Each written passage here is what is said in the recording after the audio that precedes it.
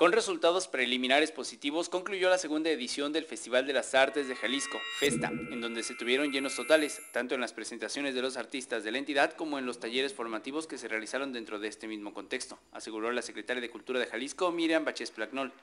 Entrevistada previo al estreno de la obra Arreola por Arreola, Bestias y Prodigios, la funcionaria estatal precisó que de los 60 municipios que aportaron a sus mejores artistas, contribuyeron a que la oferta cultural que se tuvo se enriqueciera, además de que el cambio de fechas para su realización también fue un factor que facilitó la asistencia de la gente. Escuchemos a la titular de la Secretaría de Cultura, Miriam Baches Plagnol. Este año el resultado fue maravilloso. Haberlo hecho en agosto, donde la gente está de vacaciones, también ayudó sin duda a que pudieran aprovechar más toda esta gran oferta cultural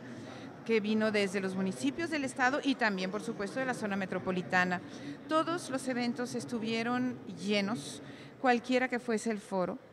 Uh, hubo eventos, por supuesto, de, de, folclórico, hubo eventos muy modernos, hubo un gran, grandes talleres, que eso también fue una novedad.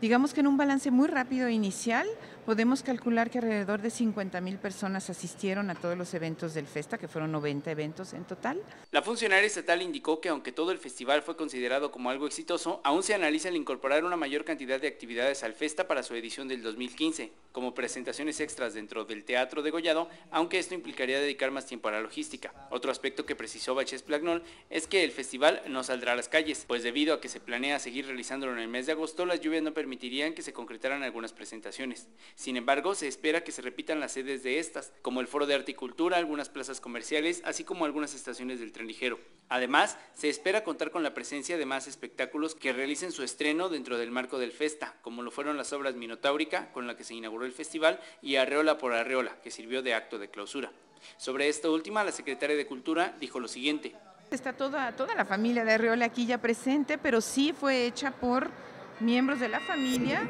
nietos, que nos presentaron esta, esta propuesta y uh, bueno, se contrató a todo el personal necesario para poder hacer una muy bonita producción, un espectáculo multidisciplinario.